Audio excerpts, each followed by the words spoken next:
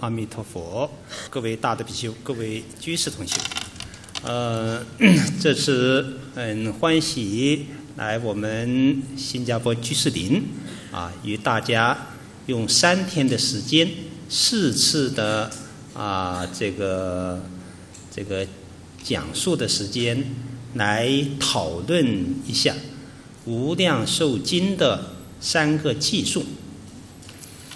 呃，佛说《无量寿经》啊，这里选用的是五种原译本的康生凯的本子，啊，这也是历来的注经大德所注解的一个本子，也是我们净土宗第十三代祖师印光大师啊，在一九三四年啊所定的净土五经的格局当中。啊，最后定夺的一个本子。那么，呃，在这个康生凯的《佛说无量寿经》里面，呃，是有三个寄送，呃，三个寄送是分布在这个全篇的啊非常重要的部分。卷上有两个寄送，卷下有一个寄送。可以说，这三个寄送是把《无量寿经》的核心的心要给展示出来了。尤其这三个寄送，主要都是阿弥陀佛的那种叙述。那样的开示，还包含着本土的释迦牟尼佛乃至他方诸佛的开示。也许大家都啊很熟悉《无量寿经》，啊读的很多。但当我们读这个三个寄颂的时候，这里面所蕴藏的微言大义。我们不一定能够把握得住，这个寄送里面到底跟我们的心性、跟我们的信愿行有些什么内在的关联？它能给我们什么样的启示？无论是从出发菩提心到发愿。到由愿引导的菩萨大恨，以及圆满大愿成就佛果的过程当中，到底应该怎样去做？这种发的心，所谓的心和行，我们怎么去啊，在我们自己的修行当中给体现出来？这就不是一个文字语言上的全息了。那么每一句、每一字，我们都要消归自信，加以深刻的体悟。所以这三个寄送确实道理非常深邃呀，啊，很有必要去。加以再三的玩味，反复的读诵，深入的思维，啊。那么今天晚上我们先看第一个寄颂。这个第一个寄颂是出现在啊佛放光现内，阿难尊者起问啊。说我从释佛以来，从未见到佛这个心怀悦欲呀，啊，放出这样圣妙的光明。那这个到底是什么意思？啊，世尊对他这一问非常赞叹，啊，这一问的功德甚深。啊，超过供养一世天下所有的圣人众生的功德百千万亿倍。是由于这一问，把净土法门给问出来了，啊，一切天人乃至冤非卵动的众生，皆由你这一问，能得度脱。呃，通过这个问，佛就开始展开了净土法门的宣言。那么净土法门的宣言，可不是站在一个地球的时空态里面去谈呐。啊，佛是站在一个法界的层面，也就是无量的时空态里面。去谈法界当中一个大事因缘，这个大事因缘从时间的这种取向来看，它要追溯到过去无量久远不可思议无央数劫这样的时间的背景当中加以叙述。啊，然后从空间的层面，他要站在十方无量微尘数佛刹的背景当中，来凸显一个特别圣妙的刹土。所以，在这个时空的交叉的叙述当中，完全不是我们这个地球众生的心意识所能认知、所能梦见的。是净土法门，它成为大不可思议的法门，成为一切世间极难信之法，就是它展开的叙述的背景，就非同小可。啊，那从时间的背景当中，啊，佛追溯过去无量劫以前的这种这桩事情。首先是谈五十三尊古佛的次第在这个世间的视线的历史，这个追溯过去无量劫的十五十三尊佛，首先提出定光如来。定光如来又叫燃灯，燃灯佛。我们在《金刚经》里面都会了解这尊佛。是释迦牟尼佛的受记佛，受记师。那释迦牟尼佛谈他因地三大阿僧祇劫的修行，在第一阿僧祇劫修行完圆满之后，有一个标志，就是远离女人之身，进入第二大阿僧祇劫修行的时候，做一个外道的仙人。有就遇到这个燃灯佛，啊，这个外道仙人就是释迦牟尼佛的前身了，以七枚青莲花供佛，在佛走过的地方啊，不乏眼泥，就是那个地地地面上有泥啊，湿泥啊，那这个仙人把身上的鹿衣啊，鹿皮的衣服。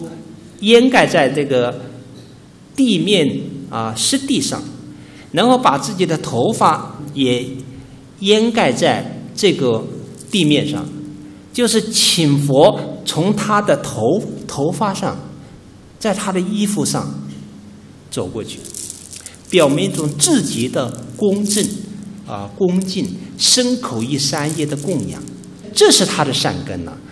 这个时候啊。定光如来给他受记，摩顶受记，啊，未来将在娑婆世界作佛，啊，号释迦牟尼。好，那把定光如来作为五十三尊佛的第一尊佛，定光如来示现八相成道，教化无数众生之后，取灭度，啊，就涅槃。涅盘又经过无量无数的劫数，才有如来，又有一尊如来示现啊，光远如来啊，度化众生。啊，灭度之后又经过啊无数的劫啊，再是第三尊古佛月光佛啊示现啊，次第的有旃檀佛、善山王佛啊这样的推说往昔。啊，推说往昔呢，这样的一尊佛，最后就是四自在王如来了。那这个时间之久远，却不是我们的数字所能计量的，也只能用比喻的说法啊，无量微尘数劫来表达了。好，那么到了这个世自在王如来这尊佛，就是扮演主要角色了，在无量寿经里面。在世自在王如来，他有十个称号，表明他的啊佛德的究竟圆满，啊，如来应供等正觉明心足善事世间解，无上士调御丈夫，天人师佛世尊，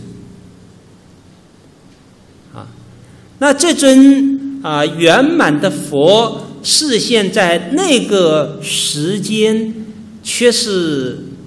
一个太平盛世、福德非常好的一个时代，何以见得呢？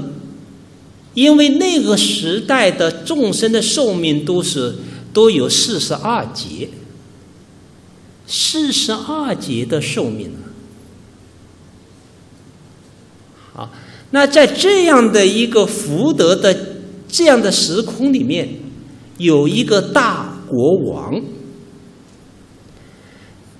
他就供养佛陀，闻世自在王如来讲经说法，就大彻大悟了。大彻大悟，就这个悟就悟到了诸法的空性，一切有为法的梦幻泡影，也悟到了自己本具的如来藏性。当他了解了生命这种真实之后，一切世间做国王的五欲的享受，乃至世间有为的事业，那是不可比拟的，价值量是很低的，乃至于没有什么价值。所以他就毅然决然的弃国捐王，啊，放弃了国王的位置，啊。放弃了五欲的享受，就出家行作沙门，号曰法藏。好，他是以大国王的身份出家，所以出家之后啊，由于福德国王的福德，心量自然就很广大了啊，这个。记忆力也非常啊强，理解力也非常深邃，意志精进力也是最为啊至上，并且发的是大乘勇猛的心，啊，是一切世间的人是无法比拟的。这样，他成了世自在王如来的一位得意的弟子了。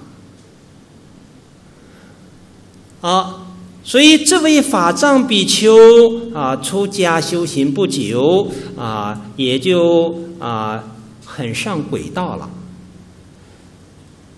也就能知道佛的恩德了，甚至也能体会到佛的果地上的功德了。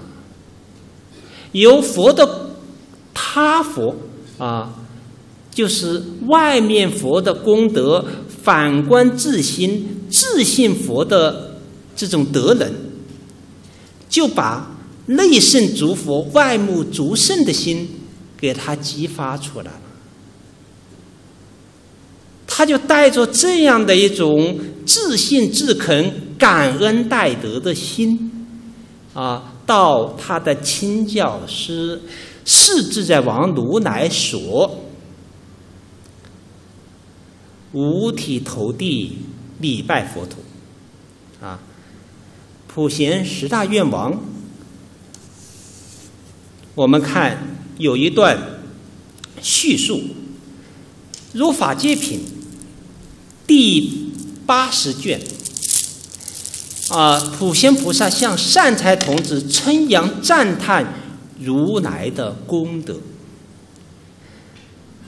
在最后的两个寄颂里面，其中有一句有一个寄颂：“刹尘心念可述之，大海中水可饮尽，虚空可量，风可细，无能尽说佛功德。”用一种推到极致、不可能的一种比喻。来表达、宣扬、远说如来的功德，宣扬不尽。啊，差尘就是比如三千大千世界的微尘，每一个微尘就好像一个啊，这个啊，每一个三千大千世界乃至十不可说不可说世界，把它磨成微尘。你要知道这个微尘的数量，那是很难的。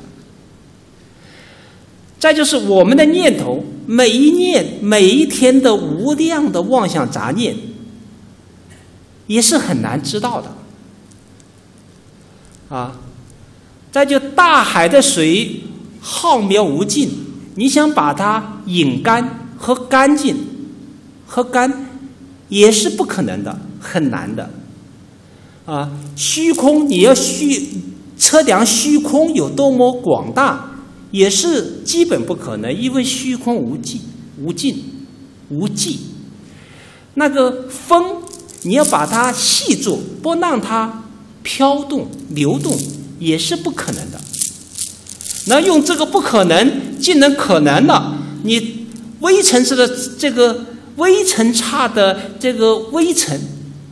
你可以数清楚，你的念头能够数清楚，大海的水能够引进，虚空可以测量，风可以细注，你能做到这个水平，你都没有办法说尽佛的功德有多少。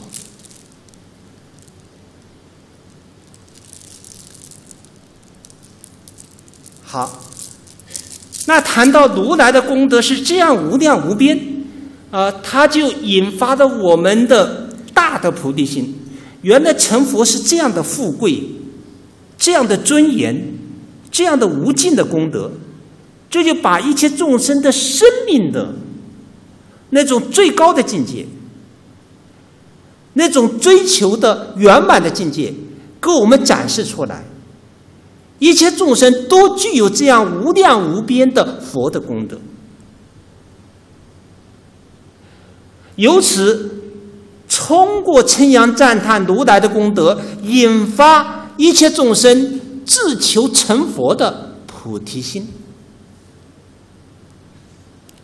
那要成就这样的菩提心，在《普贤菩萨行愿品》紧接着就说，要成就如来无量无边的功德，要修十种广大行愿。一则礼敬诸佛，二则称赞如来，三则广修供养，四则忏悔业障，乃至啊十则啊普皆回向。好，那你看这位法藏比丘，实际上他的一些行为暗合着普贤十大愿望。这里他礼敬诸佛，对世在的王佛。用一种非常的恭敬心去礼敬，在这个礼敬当下，礼佛它事项上的礼佛，还要回归到一种啊礼上的礼佛，啊，来了知能离俗理性空寂呀，这种实相的礼佛呀，这种大悲的礼佛呀。这种无尽的功德庄严的礼佛呀，啊，甚至普贤的普贤菩萨礼佛，他都要观想一生在无量无边的如来面前，都有自己意义的身在恭敬礼拜呀。那礼佛的这样的一个仪轨，礼完了之后又又绕三匝，啊，这是恭敬佛的一种仪轨了，又绕三匝，然后长跪合掌，也是表明至诚恭敬的一种姿态。好，就以颂赞曰，颂就是伽陀，以这个偈颂来赞叹是自在王如来的功德。一般在大乘的圆顿经典，这个菩萨赞佛前面都要加一个字“称佛威神”。一个因地修行的菩萨要把如来的功德赞叹的到位，都不是自己的智慧境界所能了知的。还一定要蒙佛的威神愿力加披，他才能了知如来的少分的功德，啊，称佛威神。那《华严经》来赞叹佛陀的功德的这些菩萨，都是法身大师，啊，至少是原教初住以上的水平，他才能够参与《大方广佛华严经》那样的法会。那么这些大菩萨们。他们战佛前面都有一个称佛为神。那么我们来看这个寄颂，从结构上有二十四集，啊，八十句。呃，中心思想是赞叹世自在王如来的功德，这是第一个部分。第二部分就是叙述自己的愿心。第一部分是七个寄颂，第二部分十个寄颂，第三部分就是这个扬起佛来印证有三个寄颂。现在我们来看第一部分，总叹佛的功德。好，我们请看寄颂：光颜巍巍，威神无极，如是言明，无与等者。日月摩尼，珠光艳耀，皆悉隐蔽，犹如巨木。如来颜容超世无伦。好，先看这个几个偈颂。这几个是偈颂是赞叹世自在王如来的深夜功德。深夜功德首先从光明赞叹开始。世自在王如来的光明至圣，叫光巍巍，它的容颜颜色也是巍巍。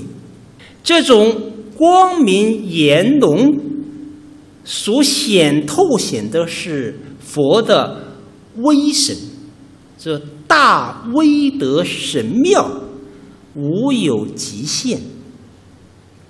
啊，这样的光明，言就是光中之王的意思，啊，是一切世间。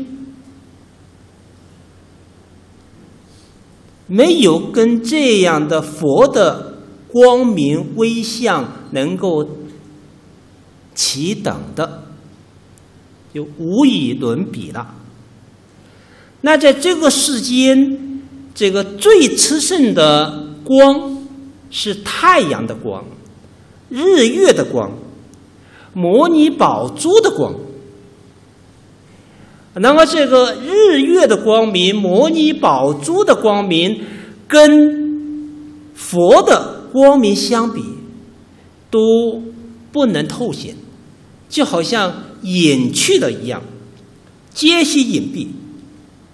这些日月宝珠的光明，在佛的光明旁边，就好像啊墨汁一样的。黑的感觉，啊，用这个比喻说明世自在王如来显现的这种光，无与伦比呀。好，我们来看，要了解如来的光明，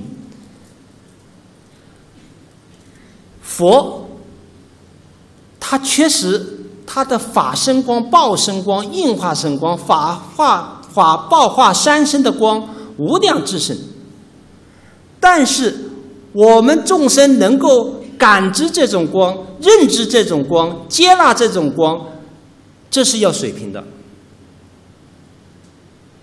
如来的光明显现到什么程度，也是由这个啊学人、这个菩萨他的心识的水平决定的。那这样的一种啊光明之盛，是从他实相当中显现出来的。一切诸佛如来。都有无量的光明，他无量光明从哪来？《楞严经》有有一句话：“尽极光通达，即照含虚空，却来观世间，犹如梦中事。”每一位众生都有自信自身的光明。但是我们有分别，有烦恼，我们的光透显不出来。那么，如来他断尽一切烦恼，见惑、思惑、尘沙惑、无明惑，连烦恼的习气都没有，就清净到极点，晋级说明。他已经切证到了主法的实相，那个无量寿的体性，那以不以一法为侣的无属一、无属分别的心体。他这个心体正到之后，自然就会显现光明。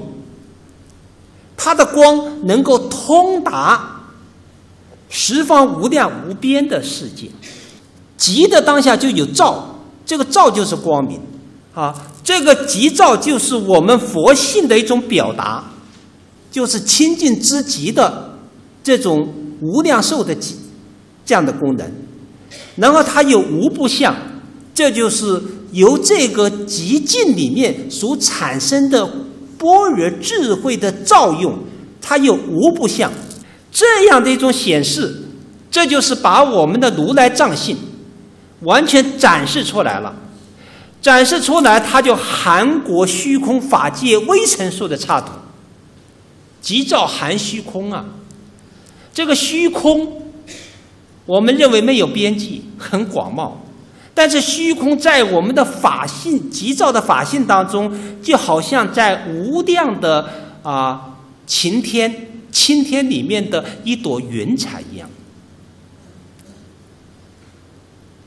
然而，十方无量无边的微尘处刹土，都是依托虚空而成立的。虚空在我们急躁的心性当中，如片云点，太虚太轻。所以你看，我们急躁的心性有多么广大，然后我们就把这个给迷失了。迷失了我们的真如法性之海，而其执着一个小水泡为全体的大海。啊，那这个赞叹是通过这个光明的赞叹，也就赞叹他他极定的法性。啊，所以这样的一个光显现，它具有大的威神力量，而且无有边际。把心性当中无量的功德，啊，完全彰显出来了。好，那这样的一个法性的啊光明，它遍照一切刹土，是要利益一些利益一些众生的，是要运载着如来的大悲愿力的。啊，所以这样的法性的光明。是一切众生业力所感召的日月的光明、宝珠的光明，不是在同一个层面的，是百千万亿分不及其中的一分半分的。所以跟佛的光明相比，犹如巨木。这里同时，他给我们一个信息，就是我们怎么观佛、观佛像。实际上，佛像它显现的一种啊一种前奏，就是佛光，由佛光显现出佛像。在《无量寿经》的后卷，啊，释迦牟尼佛让阿难尊者，啊，要啊问他愿不愿见阿弥陀佛。阿难尊者说：“我愿见。”愿见就告诉他见的方法，向西面顶礼合掌，称念南无阿弥陀佛名号。当阿难尊者念佛顶礼下去，抬头之际，佛就现前。阿弥陀佛现前，他首先也是描述他的光明。阿弥陀佛如黄金山显在虚空，然后放出无量至圣的光明，在这光明当中，把十法界全都彰显出来了。你看这里，这都是很神妙的，在我们众生的业力的这样的认知水平当中。我们只能感知跟我们业力相应的一个空间，所以我们不了看不到恶恶鬼界，看不到地狱界。为什么很多人不相信轮回呀？就是他看不见，他只看到人道，最多只能看到一点畜生道，少部分的畜生道。但是佛光就能把十法界全都贯通，啊，地狱的境界现前。恶鬼的地界现法界现前，人道的法界现前，修罗的法界现前，天堂的法界现前，声闻缘觉菩萨法界现前，乃至于极乐世界的那种佛的法界也现前。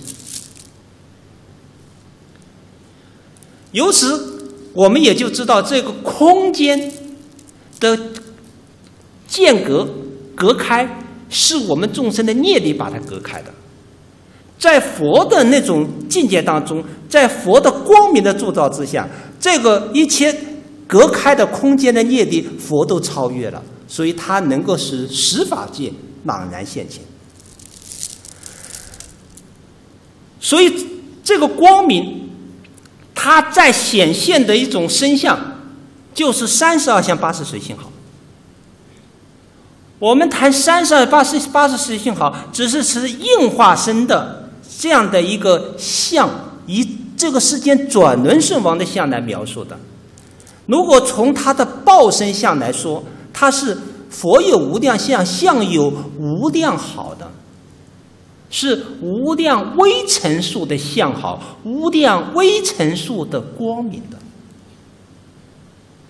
啊，所以这些它显现什么的相好光明，也跟一个。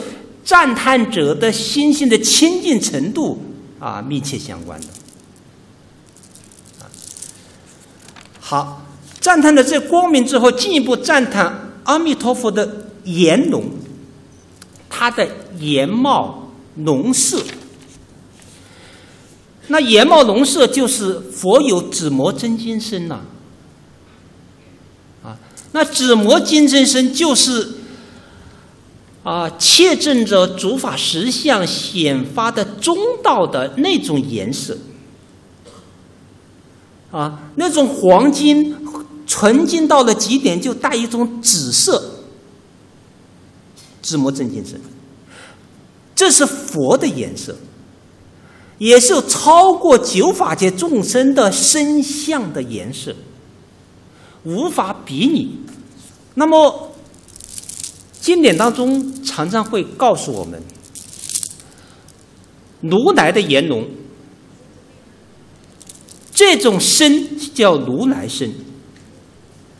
如来身不是业力的那种身体了，我们我们的身体叫涅报身我们的涅报身是无量的业力，而且业力里面是。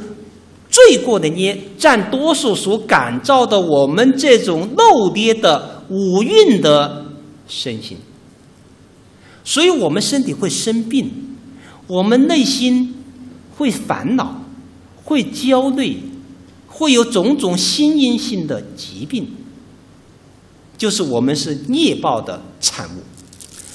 好，那如来的身是无量功德是凝所凝聚的，所以它显现的是金刚拉罗延的身体，不是血肉之躯。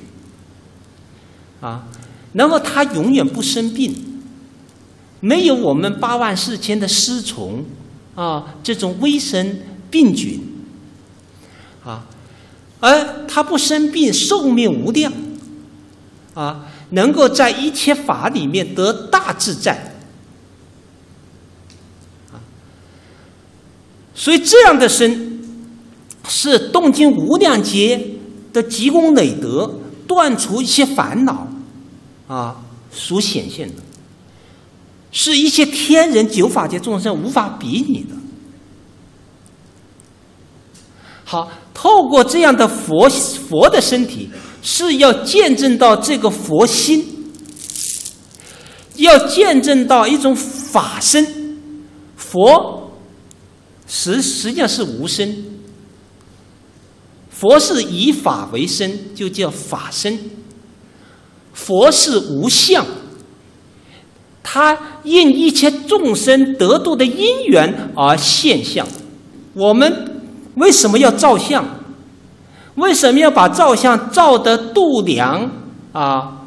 这种仪轨要正确，就是你这种如法如理。符合照相度量的啊法度的这个佛像，就能凝聚如来的法身的功德。也就是说，他有宗教精神，法身的功德寄予在这个佛像上，你向他顶礼膜拜，那就有求必应，因为法身能够跟众生做一个很灵敏的互动的。所以佛为什么说照相功德无量？释迦牟尼佛为什么因地每一次都照相？就在于这个佛像记记忆着法身的功德，能够度众生。不是像基督教所说的是一个偶像崇拜。你谈一个偶像是没有生命力的，但真正如理如法的佛像，它是具有强大的。佛的生命在里面的，是基于着佛度化众生的悲智愿力在里面的，所以他就我们拜佛像就是朝圣了。我们透过一个如法的佛像，是要显发我们自心的佛像。啊，好。所以你看，这个法藏菩萨，他能够在出家不久，就能够对弥陀、对对这个世自在王如来的果地上的身口意三业的功德，具有这样高的认知，也从中证明法藏比丘他自身的修行功德已经是啊不可思议了。好，请看下面。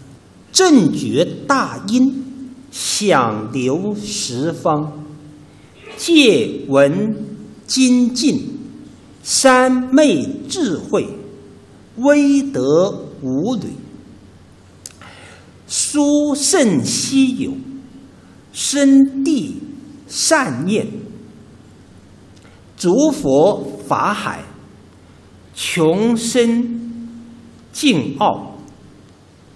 就其压底，无名欲露，世尊永无。好，先看这个技术。这是赞叹世自在王如来的口业的功德和意业的功德。口业的功德，正觉大音，响流十方。就是这正觉，就是无上正等正觉。是自在王佛证到了主法的实相，啊，圆满的无上正等正觉，在这个无上正觉当中，就会显发同体的大慈悲心。就会对一切沉沦在苦海当中的众生予以慈悲的救度。这种救度就是要讲经说法。这个大因，大可以从心性的体性说是大，也可以表达是大乘的法因。世自在王佛度众生是以一乘法来度众生，以如来灭度而灭度之，欲令众生啊得佛的大乘的佛果。好，那这个如来的法音，它是具有无量清净梵音的功德。如来证到了阴身三昧，种种陀罗尼。阴身三昧当中，其中有一个功德，我们常常表述：如来依因而说法，众生随类各得解。如来在一一种一一因一因里面，具足无量的因因身。每一音声具足无量的法义，如来之说一音，各种不类不同种类的众生，他听到这一音，就跟他的根基、他的水平、他的语种相应，这就很神妙。比如一音说法，你中国人听的是汉语，啊，欧美人听的是英语。啊，德国人听的是德语，啊，还不需要机器上的同步翻译机了。这个译音里面就是就是同步的显现各种语种。好，这是人道的语种不同，甚至这一音啊，你人是人的语言，猪是听的猪的语言，啊，蚂蚁听的是蚂蚁的语言。好，这是从它的音声表达来看。那从它的内涵法义来说，你是小乘根基的人，听到的是三十七道品，藏教的三十七道品；啊，你是大乘根基的人，听到的是别教或者原教的三十七道品。啊，你内心有种种不同的好要，你叙事的善根啊是什么水平？这一因最好正好讲的就是跟你的水平相应。啊，那么这个一音，你还让你感觉到就是如来为我一个人说，是一对一的关系。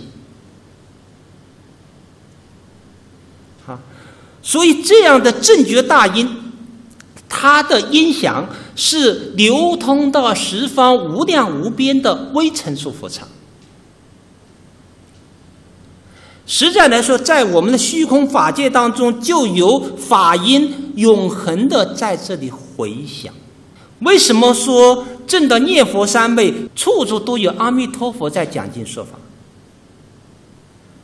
啊，是阿弥陀佛永劫以来，乃至十方诸佛无量劫以来，他的法音永恒常在。我们为什么听不到？就是我们心散乱，分别执着，把遮盖做了这样的一个法音。然后赞叹 世自在王。如来，他的六度的圆满，戒闻精进，持戒严谨，啊，皎若冰霜，秋毫不犯。一切诸佛如来成佛，也必须以戒持戒。作为先决前提，也是三学六度十波罗蜜最先谈到，还有五种法身，必须谈戒律问题。一个菩萨修道，如果没有对戒律的高度的重视，不去持戒，那就等同磨子磨孙。永远没有成就佛果的可能性，所以在末法的时候，我们对戒律的尊重更要高扬到一个很高的程度。何以故？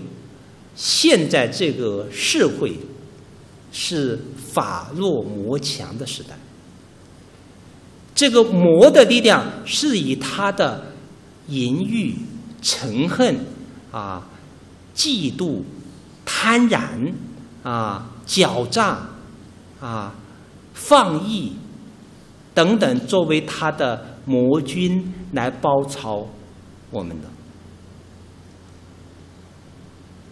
五欲的诱惑，然后我们自己又有厚重的贪嗔痴三毒的烦恼，所以现代社会持戒具有很大的挑战性。虽然如是，我们持戒的意思更要高扬，宁可守戒而死，不可破戒而生啊。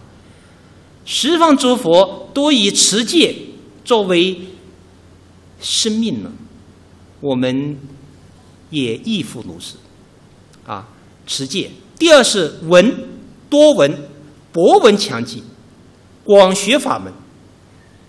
这个闻包含着信受奉行在里面。闻思修啊，你首先要听闻。无上的妙法，然后去深入的思维。你在闻思的前提下，要落实在行动当中，要转变我们的凡夫众生的染污的罪恶的念头和行为。这样的修行要精进努力。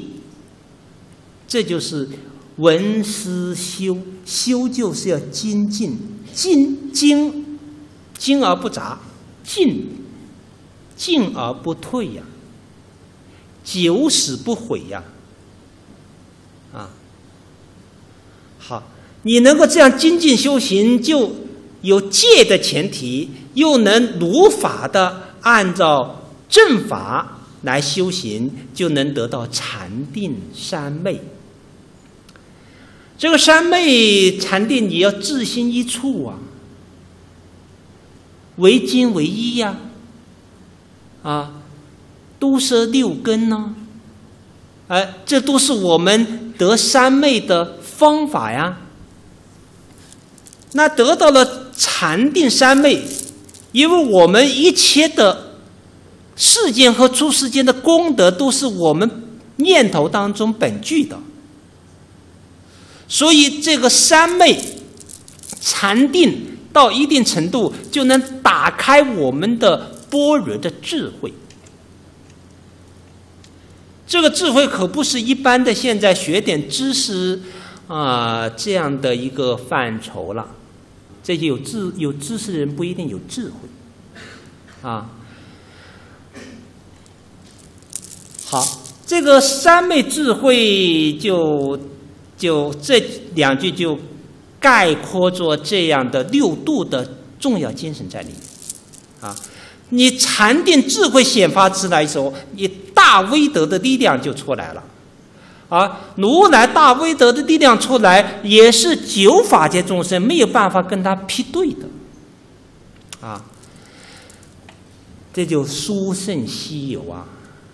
这是谈他的口业。然后进一步赞叹如来的意耶，他举心动念，这里用那个生地善念，如来的那个念是很深邃的念，不是奔逸在外面五六层的妄念，这个地。就是地观向内心回归的那种明了性，然后这个念，它就安住在善的乃至于至善的境界，能够称为善念，里面一定有止观的功夫，止一切妄念，那种自信的慧光，了了的明白。所以善念里面有止观，有定慧，有急躁，有无量寿、无量光。这样的念，念念与一切种子相应，念念流入沙婆罗海，每一念都是都是啊真如法性的这样的智慧啊，所以如来连一个妄念都没有。这叫生地善念，有这样的一个生地善念，就能得到诸佛的法义。啊，这个法佛法就像大海般深广，就从你的善念当中能够获得，能够切入。好那这样的切入到诸佛像大海般的法海，那是穷深尽奥啊！如果把这个啊佛法海啊这个就比真如法性之海，穷极它的深邃之处啊，它的法海当中的奥妙也完全了之。就好像大海水的底部，啊，那个至为珍贵的摩尼宝珠，你都能获得，就其压底，就是它大海底部的啊边际完全就近的抵达。那么这样的念头当中，这个无名呢，没有了。它都是一种自信光明的一种显现，光灿灿，圆坨坨，光烁烁。无名黑暗之相没有了，那没有无名，当然也就没有欲望，就是没有三毒的烦恼。我们的贪嗔痴从哪来？就是从无名里面来。正因为有无名。有具身我执，有这个身见，才引发了我们要去贪、要去占有的心，这种欲望、物欲。这个欲广义的是对财色名食睡的欲望，狭义的就是对男女的欲望。啊，那么这都是无名显发出来的。这个怒就是嗔恨，当自己冤枉。得不到实现的时候，他就生气、发脾气、嗔恨，啊，由这个贪嗔的烦恼，使他的无名更加固，愚痴黑暗更浓重，愚痴恶暗更浓重，是又让他造作更大的恶业。我们是业力凡夫，就是在这样的恶性循环当中永劫的轮回的。那么佛在他的念头当中，他没有无名，没有无名，当然他的贪欲、他的嗔恨就没有安立之处，完全都是晴空万里哦，啊，没有一朵乌云呢，啊，所以在佛世尊当中就永远没有烦恼，乃至于烦恼的习气都没有，啊，世尊有。好，请看下面。人雄师直，神德无量，功勋广大，智慧深妙，光明微相，震动大千。这是总的赞叹世自在王如来的功德，比喻成他是人中之大雄。我们佛殿称为大雄宝殿，他为什么称为大雄？就是他征服了自己，能够征服外在世界的不叫大雄，能够征服自己的才叫大雄。一个修道人不是征服他人，要首先要征服自己，就是要对峙自己无量劫以来的那种分别执着，那种厚重的贪嗔痴慢疑的烦恼。你把这个都对峙的干干净净了，你就是人中大雄，你就是人中狮子，众兽之王，具有大的力量，啊。那你就有大的威神的功德，啊，神德无量。那人雄术是神德，那就啊说不可尽了，微神功德啊，他能够分身无量啊，度无量的众生呐，啊，能够有种种的善巧方便呐，啊，有无尽的慈悲呀。啊，那神德无量，你看随便念一下，都看到这个佛的神德太不可思议了。大家看看《妙法莲华经》，当释迦牟尼佛在说《法华经》的时候，正能地下涌出了多宝佛塔。啊，多宝佛塔显现啊，这是多宝佛，也是无量成点劫以来发愿，只要哪尊佛讲《法华经》，他都要现前赞叹，为作证明。啊。那塔里面，如果你要想看多宝佛，他还设定了一个条件，啊，就是这个讲《法华经》的这尊佛，一定要把他的分身佛全都聚集之后，聚集到一起啊，才能开塔，啊，所以释迦牟尼佛要开这个塔，首先把他的分身，他的分身的佛全都聚聚集过来。释迦牟尼分身佛也是无量无边，当时这些放光啊，通知这些。呃，分身佛都过来，这分身佛带着侍者过来，那过来啊，分身佛就啊让侍者去问讯释迦牟尼。这个问讯的时间都经过了五十小节，啊，但五十小节不能法华会上要等五十小节，佛又用他的威神使六十小节显现的像一上午这样的时间，啊，然后再来啊呃。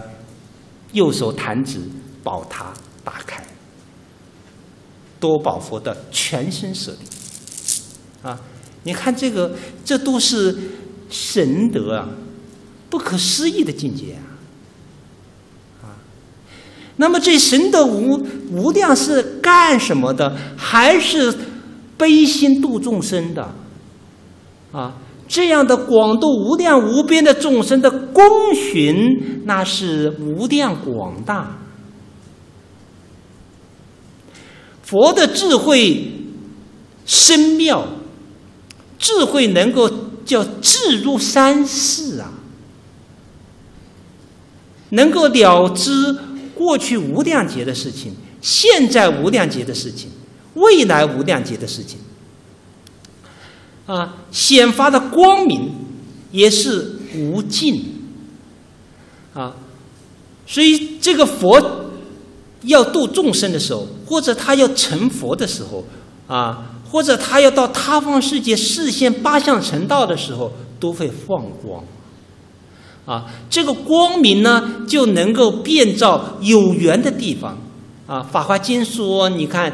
啊，大通至圣如来啊，成佛的时候啊，这个大地六种震动，光明遍照十方无量无边，就是五百万亿的刹土啊。那这个五百万亿插图，东南西北四维上下。大梵天的宫殿都震动，都有光明过来啊！这些大梵天王呢，就循着这个光明啊来，是怎么回事？这一看，原来是大通智胜如来成佛了。这些啊大梵天王做种种供养，也劝啊劝勉佛来转法轮呢。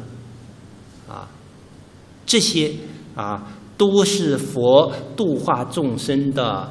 啊，善巧方便呢，啊，震动大千，也不仅震动三千大千的世界的医报，乃至要震动一切众生心地啊心地里面含蕴啊良久的那种善根佛种啊。好，请看下面。愿我作佛，其圣法王，过度生死，弥补解脱，不失调意，戒忍精进，如是三昧，智慧为上。勿视得佛，普行此愿，一切恐惧为作。大安，好，先看这个基础。这就是第二部分呢，就是法藏菩萨叙述自己的愿心。首先是叙述自己上求佛道、下化众生的菩提大愿呢，啊。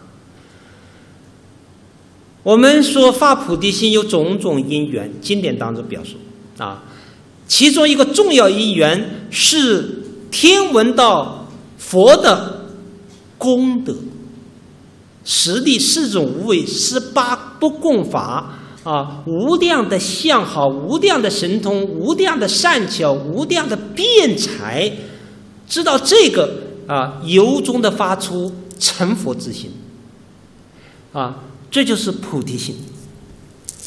法藏菩萨在这里就延延续着这样的一个发心的心路过程，赞叹了世自在王如来这样的身口意三业的功德之后，也就发愿：我作佛，希望跟世自在王佛一样，具有这样的圣妙稀有的身口意三业。和圣妙稀有的大菩提心啊，大慈悲心啊，这其圣法王，法王是指是指在王如来啊，以一切法的大自在、大解脱成为法王，圣就是圣明的意思啊，啊，就像法王这样的智慧光明呐，其等呐，啊，那么这样的法。成佛就能过渡生死，过渡就是渡脱生死苦海。一般谈生死有两种生死，第一是我们业力凡夫的分段生死，啊，那正道断见识惑能够度分段生死，长依三界不受后有，阿罗汉的水平。好，那进一步还要断变异生死。就是你要断尘沙惑、无名惑，这样才能够圆成大乘的佛果。好，这个法藏菩萨发心自己要齐圣法王，自己要度越分段生死和变异生死两种苦海，同时也要令九法界众生都能解脱这两种生死苦海。弥补解脱啊！这说明他心包着众生，不是考虑自己解脱，而是一切众生没有一个不能解脱的。好，这就具有着上求佛道、下化众生的菩提心的核心内涵内涵了。那要完成这样的菩提心愿，不是仅仅仅是口头上的，马上要付诸实施。怎么完成这个菩提愿？这里仍然要落实在菩萨的六度上。菩萨六度，首先布施，布施是度千贪的。我们于由于我们业力凡夫，与生俱来具有具身我执。身见，所以他必然就有贪心，必然就有坚定，他就使我们业力反复的心就很漏劣，甚至造作种种的恶业。所以，对于这样的一个心行，就要用布施的这样的一个法药来对治。布施，你财布施，啊，一切众生都爱财，啊。然后你竟然把你的财物布施给他人，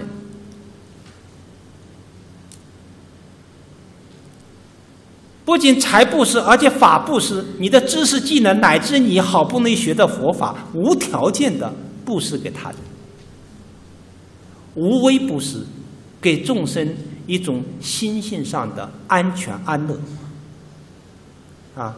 用这个布施的这个方法来调伏我们的分别执着贪染的自私自利的这样的心，啊，这叫布施调意。同时要有持戒意识，要有忍辱波罗蜜呀，啊，忍辱。我们在生活修行过程当中，免不了遇到种种的逆境，免不了遇到种种的冤家对头。对于修菩萨道的人，看到这样的逆境现前，你都要如理的智慧的关照。这正是成就自己最好的机会。就好像黄金欢迎烈火的啊。这种烧电，啊，一块良铁，希望一个磨刀石来磨砺；一个菩萨也希望有提婆达多来伴随。没有逆境，一个人是很难顺利的、快速的成长的。所以逆境现前就得要修忍辱波罗蜜啊。那么精进就是对治放逸啊。那么这样你能够不施持戒忍辱精进啊，你就能获得禅定，有禅定就能开发智慧，在六度里面。般若智慧最为第一，最上。六度，前五度如盲，第六度如目，如眼目。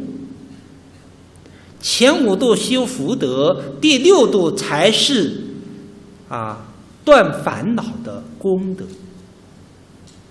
啊，所以。我们啊，六度也告诉我们，菩萨道要福德智慧如车之两轮，鸟之商议，缺一不可。啊，修道首先要培福，培佛才能载道。这个道所显发的就是般若的空性的这个智慧。为什么智慧为上？智慧是让我们了解诸法的本质的特点。了解一切缘起法无自性，了解一切法如梦如幻如影如抛，这样的般若智慧，但也不能堕在玩空断空里面。要了解既有之空，即空之有，这种真空妙有的这样的一个智慧啊，这样我们由于有智慧故。啊，就不染，啊，不受轮回；有慈悲故，就不住涅槃。这个法藏菩萨就发誓了，这个誓表明比愿更重的一一种对自心自心的一种约束。我一定要这样做，然后发一个大誓，啊，不这样是不行的。是把它作为自己修菩萨道的一个永恒的约束要求，啊，我发大誓，我得福啊的全过程，就修菩萨道成就佛果的全过程，要自始至终的要紧紧的抓住这样的愿，不忘失这个愿，要以这个愿作为先导。作为前提，所有的举心动念、行为造作，都是为着这个愿的实施去做的。普心持愿，这个愿就是前面讲的上求佛道、下化众生的大菩提愿。这个大菩提愿，它它是以大慈悲心作为体现的。那这大菩大菩大慈悲心，它就直接体现在下面两句话：一切恐惧为作答案。可以说，这是法藏菩萨在他开始所萌起的大愿里面的一个核心的内涵。大愿之目。这个法藏菩萨，他能够从自身的心性当中的关照当中，知道自己的恐惧在什么地方。由此，他关照一切众生，乃至于九法界众生，他们的恐惧、不安在什么地方？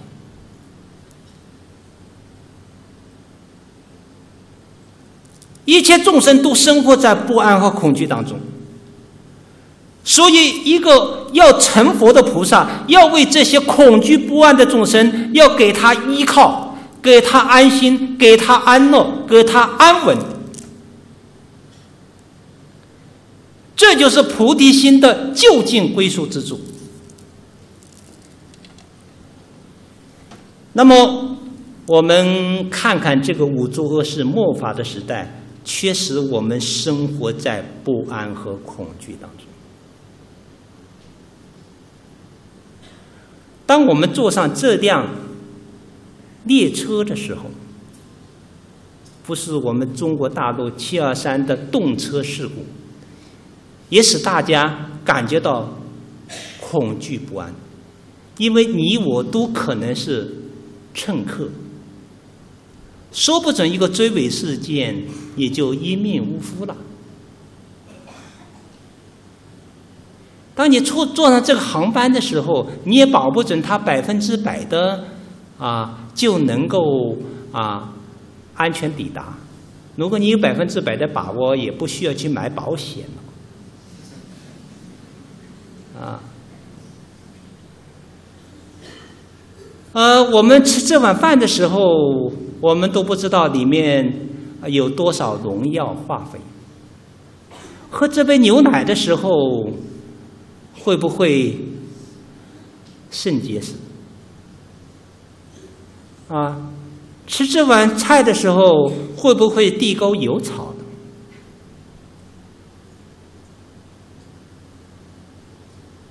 在激烈的职场竞争当中，会不会一天被炒鱿鱼呀？等等，这些真的是恐惧不安呢？啊！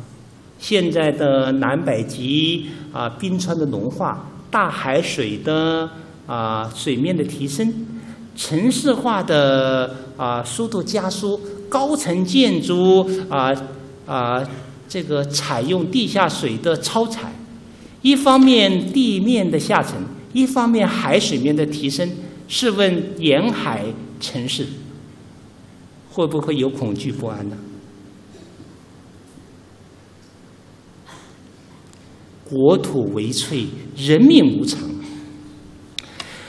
所以，这位法藏菩萨知道一切众生的生命当中，他的与生俱来就有恐惧不安。他想使自己的生命活得更长一点，而无常的啊无常鬼可等不了他哟。他想有这样那样的欲望的满足，常常就有求不得苦啊！他虽能万万贯家财具有，能和生那个败家子不孝顺啊啊！想得一个美满的家庭，能和这个夫妻俩天天怒目成仇啊！啊，生活在家庭都不知道什么时候被被他的妻子拿把剪刀给他刺死了。所以，这些众生的业力碰在一起，它是这种恐惧和不安。所以，一切宗教啊，真正能够给大家的一种宗教的满足，就看能不能解决这个不安和恐惧问题。那么，法藏菩萨在他因地当中就已经了解了众生这种内在的生命的需求，这种需求就是他匮乏，他无助。为什么会有一些马祖的信仰？当渔民在大海面对那种莫测的情形、无助的时候，他会信仰马祖。啊，当他对自己的生命啊未来啊不能把捉，自己的身体也没有办法去啊治好，他会来一个这个大仙那个大仙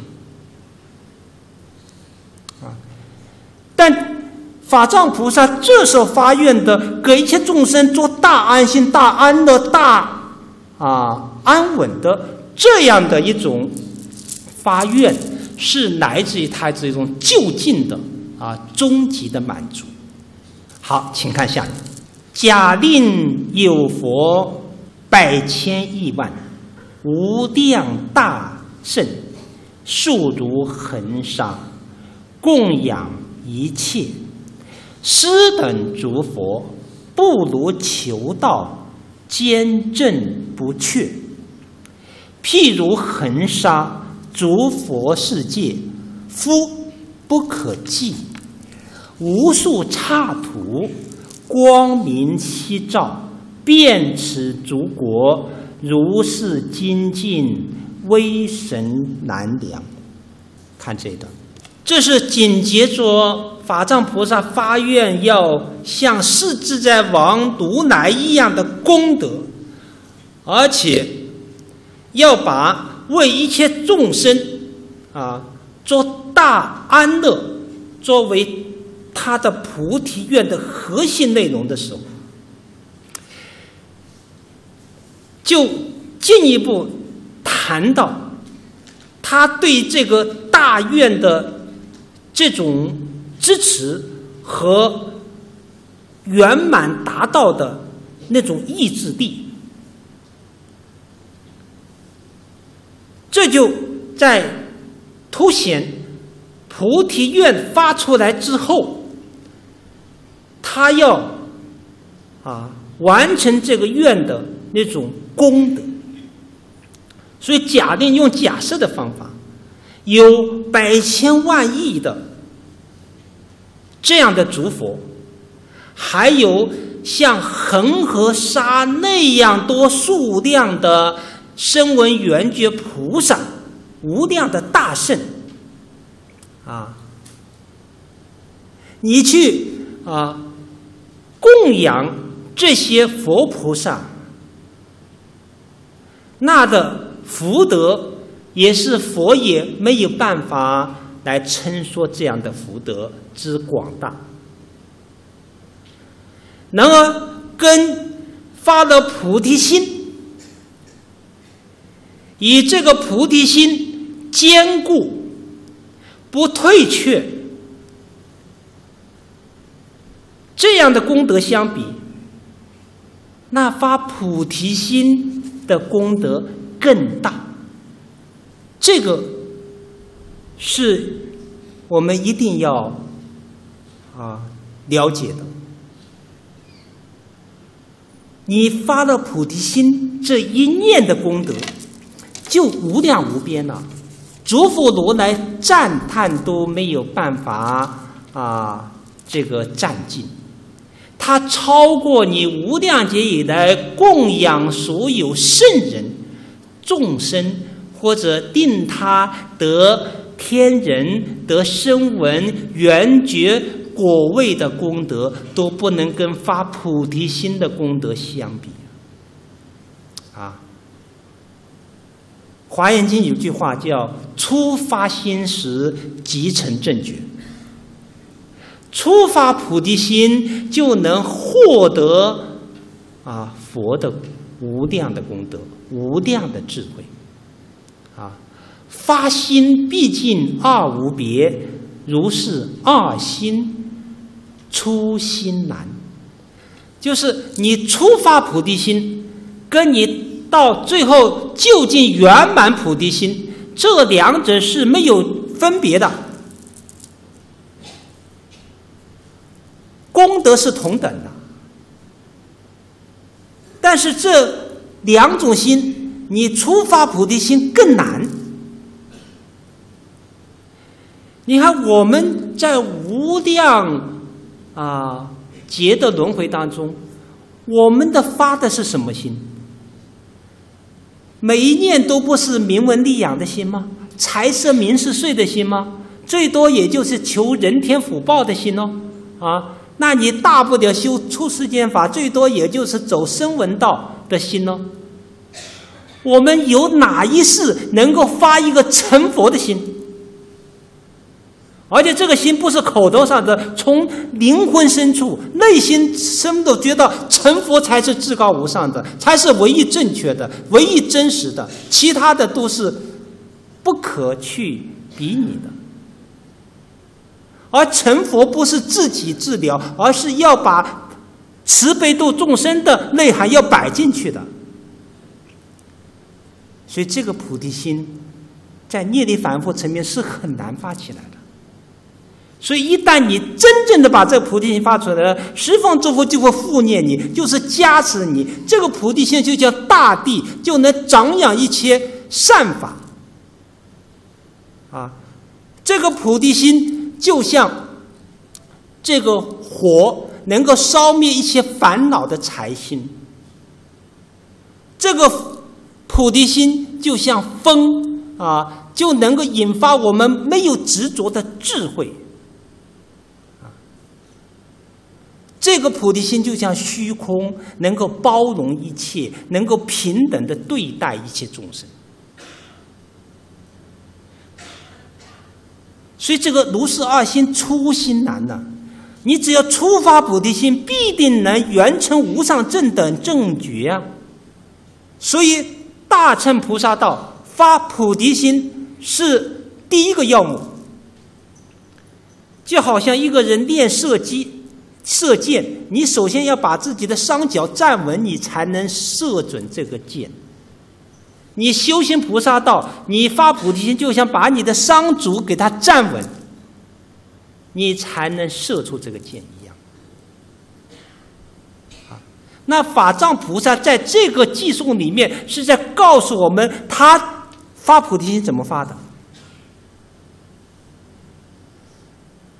他把这个菩提愿发出来之后，他是怎么发誓的？这个。坚守这个菩提愿，使这个菩提心不退转、不怯弱，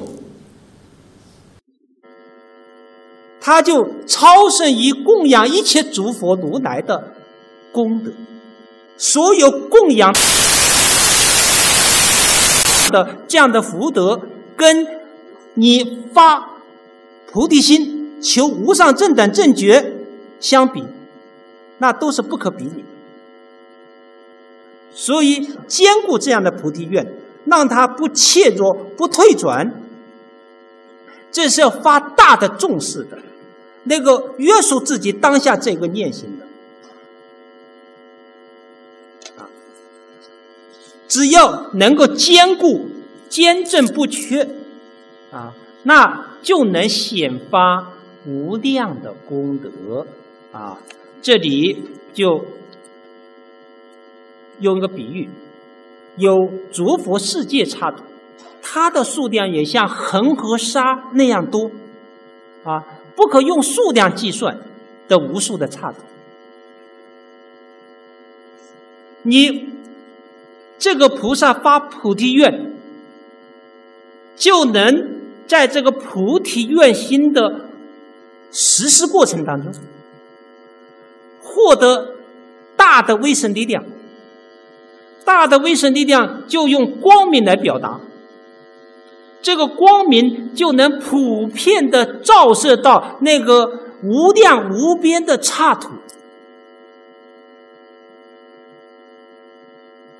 为什么能照过去？因为他的菩提的愿，首先是遮覆到了一切众生，只要有刹土的地方，有一个众生的地方，他的光明都能过去。光明夕照，遍此诸国。啊，如果就以这样的一种精进的力量，啊，就能感得清净的刹土。无量的一正庄严，来安利九法界还在两种生死当中沉沦的众生。就在这个发菩提愿、圆成大愿的过程当中，这个菩萨所显发的威神力量也就无法去测量。好，请看下面，令我作佛，国度第一。其众奇妙，道场超绝，国奴泥环而无等伤。我当明哀，度脱一切，十方来生，心悦清净，以致我国快乐。安隐，看这段，这是叙述他求国土庄严的愿心。法藏菩萨又向世自在王如来禀白，令我国土，这个令也包含着扬起世自在王如来。乃至十方诸佛加持的意思在里面，让佛令我作佛。这个作佛包括他从现在开始修行佛道的过程，也包括他在成就佛国的果地上，也要十方诸佛的加持的力量。好，令我作佛。着佛的是是什么呢？国土第一，国土就是我作佛的时候，我所我所住持的刹土，要在十方无量诸佛的刹土当中是第一殊胜。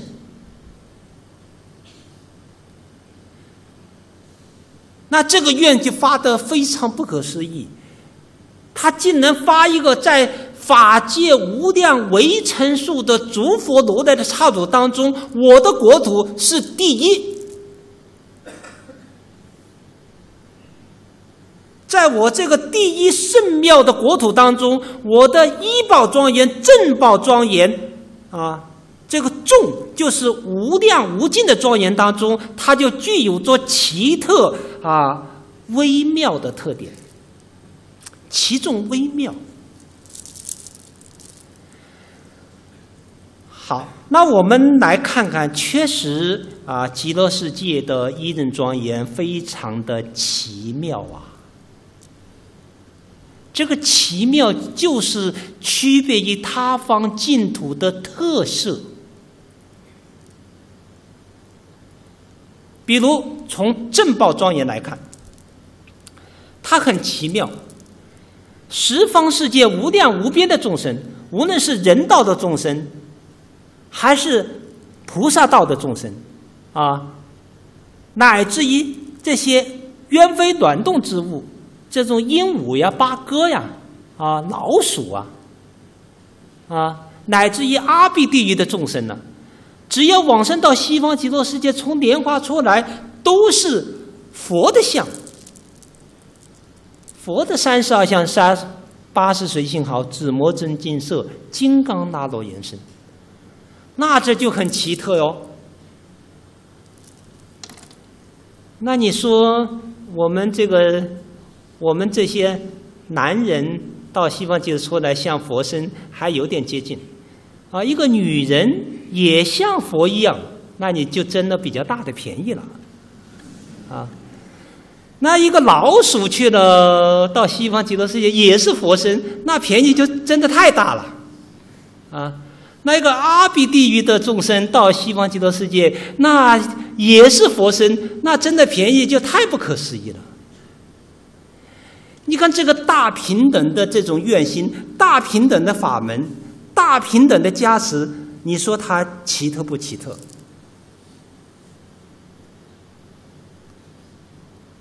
啊！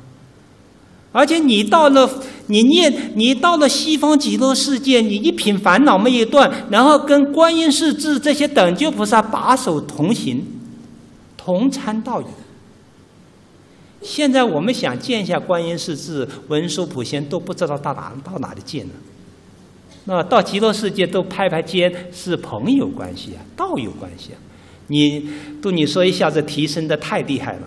再看他的医报啊，那就是更是微妙。五层说法，五层都是我们修道的啊真上缘。色声香味触法啊，都在帮助我们修道。呃，这个水在帮助我们修道，水能够开生月体。开我们的心，使我们的法喜能够出来，能够拂灭无名烦恼。洗个澡就能让我们开悟，洗个澡就能让我们正果。啊，然后风吹到身上来，啊，你就能让我们得到灭定定的这样的快乐。啊，听到那个鸟在讲经说法，就能让我们自然升起念佛、念法、念身之心。啊，听到虚空的那种音乐，那种百鸟谐鸣的音声，啊，就能让我们拂灭烦恼。啊，这个思维菩提树的功德，就能让我们得三种法忍：音响忍、柔声忍、无声法忍。啊，他种种的这个医报庄严、微妙的五层。它都能够令我们能够伏烦恼、开智慧、证佛果，这就奇妙了！所以这样的一个地方，就是一个道场。啊，道场就是修道的地方、成道的地方，这样的一个场所。好，唯一的提供的是十方的众生修道的一个场所，而且呢，啊，它是超绝，就是跟十方诸佛的道场相比，它是第一道场，最圣妙的道场，最能让我们成就佛果的道场，快速成佛的道场。所以，为什么文殊普贤文啊，观音世智啊？马明龙树这些菩萨都要往生西方极乐世界，啊，善财童子啊，以及华藏海会四十一位法身大士都要到西方极乐世界去，就是由于这是一个第一道场，就是能够快速成佛的道场，就是阿弥陀佛大悲愿力光明有巨大加持力的道场。所以我们要修道，要选一个最好的地方，就好像我们念大学要考一个最名牌的大学一样，啊，我们在法界当中最好的道场，这里已经很明白的告诉我们，就是极乐世界了，道场超绝。啊，那么这个极乐国的这种刹土的体性是。泥环，国土泥环，泥环就是涅槃，不生不灭的法性，实相，一真法界。那这个涅槃里面具足着四种德能，叫常乐我净。所以极乐世界的国土，它是永恒的。有它常的德性，所以无量寿经表示叫它的刹土是无衰无变，没有衰败，没有变异，不像我们这个世界有成住坏空，极乐世界超越了成住坏空，因为它是涅槃的长的一种表达，啊，那么涅槃的第二个德就是乐。快乐，用快乐还很难表达这个涅槃的德的特点，所以有时候就用极乐。极乐就是离开了或者超越了苦乐对待的那个绝代的乐。这个乐它不会变异，不会说想到了一定时候就乐极生悲，它没有这个事。啊，所以无有众苦，但受极乐，是纯纯意的乐，不会变异的乐，而且在乐中你不会有受乐之想的那样的一种本本态的那种法性的那种乐。所以到极乐世界，我们人生要得到最高的、最美妙的精神享受，你在极乐世界才能获得。这种乐的特点，好，再就是我，我是自在意，是主宰意。到了极乐世界，我们才有得种种自在。啊，我们愿分身他方世界，就可以分身他方世界；愿在极乐世界多待一段时间，都多待一段时间；愿离开极乐世界，也可以自由的离开。啊。呃，愿去视现八相成道，也可以到他方世界视现八相成道。啊，愿以啊变化种种众生的形体，乃至变化这个医报的环境度众生，都能随心所欲呀。啊，你在西方极乐世界念头一动，所有的东西都现前，不需要去劳作，这些都是我自在意的一种表达。啊，然后涅槃的净清净。它没有点染污，没有点分别，没有一点啊要依靠什么，它完全是绝代的，无一呀，清净到极点的，啊，所以极乐净土具有着涅槃的常乐我净的这样的四种德能，所以国罗尼环，这样跟他方世界相比，没有比极乐世界这样的法性的刹土跟它相比拟的。好，那法藏菩萨进一步表达：我成佛的时候，我要有我的大哀之心，啊，怜念一些众生。我整个的念头都要度脱十方一切的众生。我安立这个第一殊胜的刹土的目的，就是要让十方的众生都往生到我这个地方。给他一个就近安乐的归宿，他到了我的刹土，内心就充满着法喜，心生大欢喜。我的插图是清净的法心图，他那种分别执着、烦恼的染污的那种凡夫的心，只要到了我的插图，他也就趋向于像我这样的清净的心、平等的心、慈悲的心。感恩的心，悲悯的心，心越清净，啊，只要到了我的刹土，他就能得到一切快乐，得到安稳，得到安心，得到就近圆满的快乐。所以净土法门的施设，从一开始就具足着安乐的特点。那安乐也是一切众生在生命当中的一种本能的需求，趋乐避苦嘛。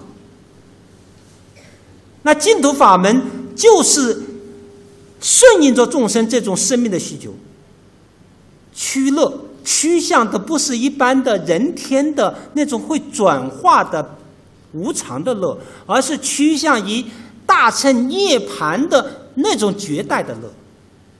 那种避开苦难，不是避开一般的没有吃饭、没有下岗的苦难，而是避开了两种生死之大苦。这时候，他在终极层面啊，把一切苦难给他解决掉了，把一切生命当中最本态的快乐给予他了，和盘托出恩赐给众生了。所以，净土法门的快乐安稳的特点，就在。法藏菩萨的因地发愿当中，就已经开始编制了这样的程序，这样的内涵了。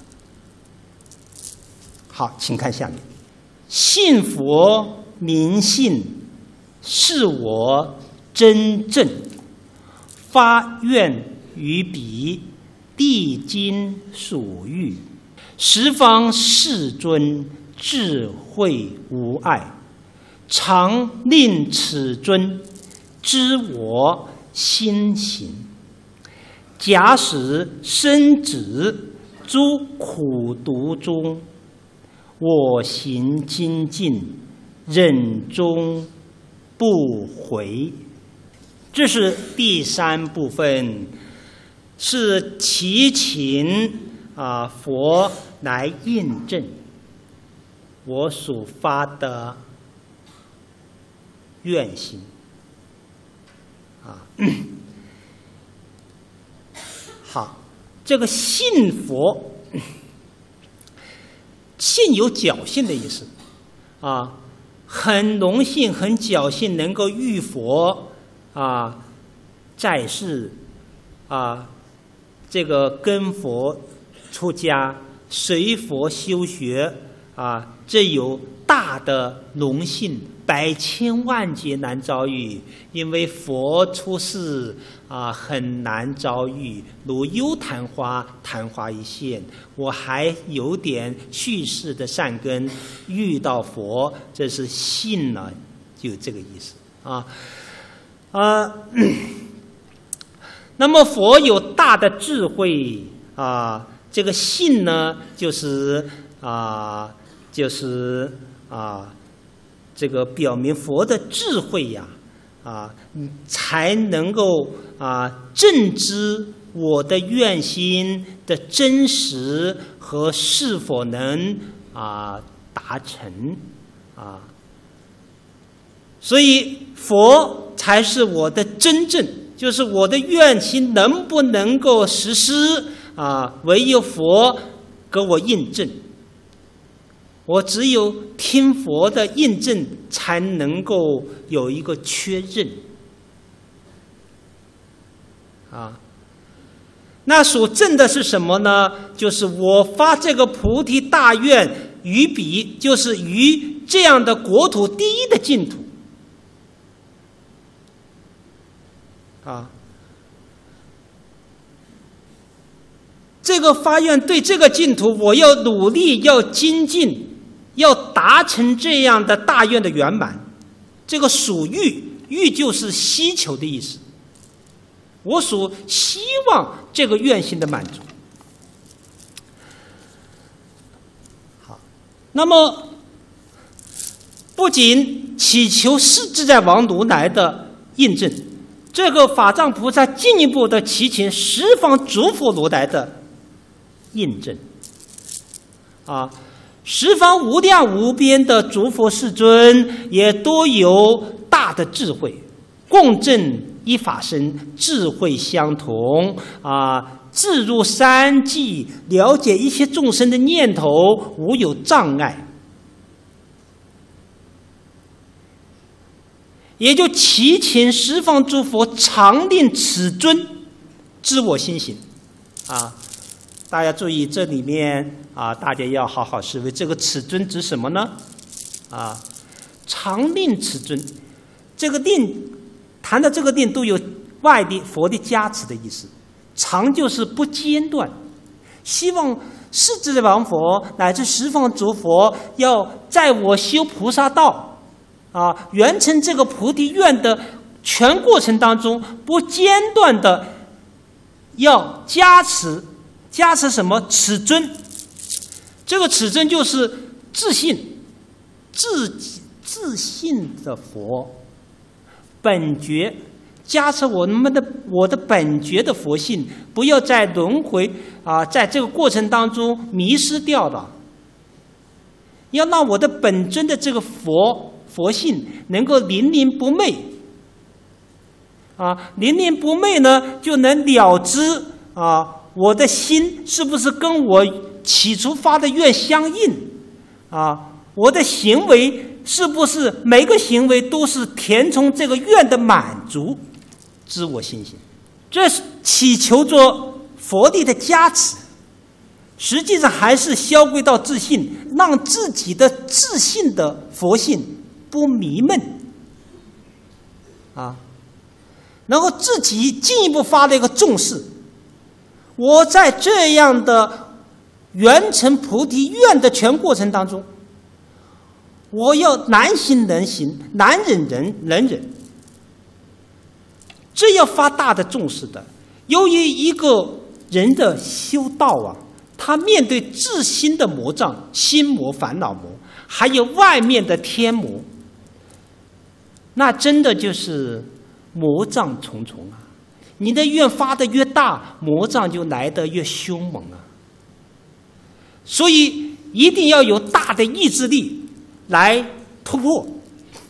就假使在我修行菩提愿的过程当中，各种魔障现前，使我的身体啊在逐苦毒中，就是我经受的三恶道的苦，乃至于到了阿鼻地狱的那样的地狱的苦的时候。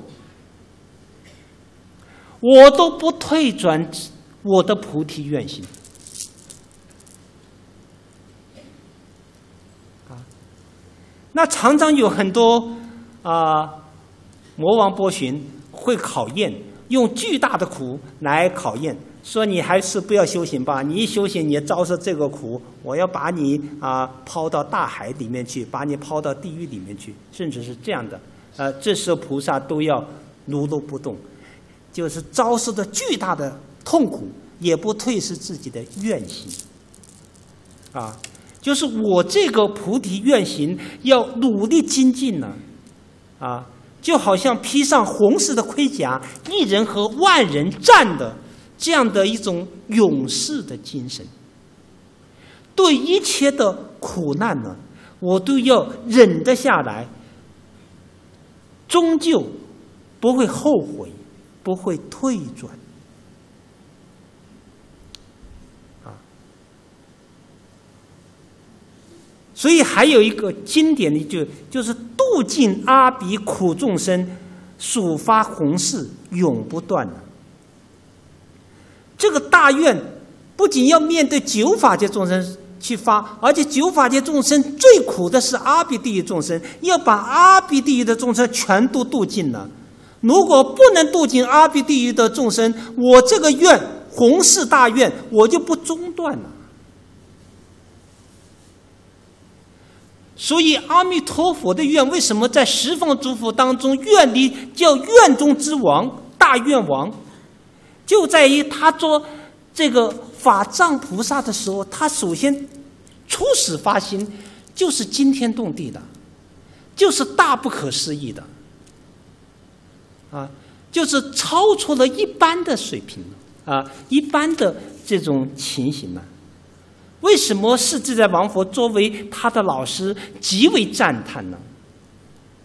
给他印证了啊，你发这样的重视，最终一定能够圆成的啊。所以我们啊，看到这个啊，寄送虽能。啊，这个寄送不长，但是他的语言过于精炼，里面的啊微言大义甚深甚广，也在启示着我们在修菩萨道的过程当中，我们如何发愿，我们如何把这个菩提心发起来。法藏菩萨是生活在正法的。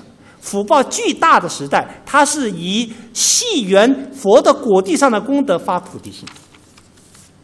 那么，可能现在我们在这个五浊恶世末法的时候，我们不一定能够从这个界面上发得出菩提心，因为我们对佛的果地上功德、光颜巍巍、呃佛的像，我们都没有概念。我们观想不清楚，我们也没有这种浓信、这种侥幸遇佛在世。但是我们这个时代的发心，至少可以从你看到众生很苦，看到佛教很衰微，这样的一种负面的东西，也能使我们把菩提心发起来，不忍。佛教衰不忍众生苦，也能促使一个有菩萨根性的人把这个菩提心激发、激活出来的。啊，所以发菩提心的因缘啊是千差万别啊。法藏菩萨他是以一个这样的正面的因缘展开了他发菩提心，以及菩提心内涵，以及菩提心发了之后他的大的重视的一个展开，对我们修道具有啊甚深启发的意义啊，大家要多加体会。好，南无阿弥陀佛，今天就讲到这里。啊，还有几分钟，我们回答一两个条子吧。临终时，阿弥陀佛来接引，但我没见过佛，怎么知道是阿弥陀佛来了呢？如果是别的佛来，我认错了怎么办呢？啊呃，你还想得很周到啊！要知道，我们讲有一个因果的相应。你是平时都念阿弥陀佛，临命终时也是念阿弥陀佛，那肯定就是阿弥陀佛来，不可能是其他的佛来。为什么呢？由于阿弥陀佛二六时中都在关顾着我们。阿弥陀佛曾经发过愿，临命终时一定要现前接引，啊，任何一个众生临往生的时候，阿弥陀佛都来接引。所以其他的佛没有发过这个临终接引愿嘛？阿弥陀佛才发了嘛。而且你念的又是阿弥陀佛，所以从因果的相应以及阿弥陀佛的愿力的这样的兑现的层面来说，那。一定就是阿弥陀佛来了，但你不要执着阿弥陀佛就是一个相，阿弥陀佛显现什么相，是依照你心性的那种清净程度来显现的。有时候你的心很散乱、很浑浊，也时候佛现前你还看不清楚了，啊，有时候你看不到佛，只是看到莲花，啊，当你看到莲花的时候，你也知道佛就在。你的面前，只是你看不到而已，啊，啊，所以你不要担心，你认错了啊，你不会错的，啊，阿弥陀佛更不会错，啊，错如果有错，就是错在你不去念佛，啊，你你这时候念的不是南无阿弥陀佛，你是念我的妈呀，我的妈呀，那就麻烦了，啊，那可能就会错了。好，时间到了，南无阿弥陀佛。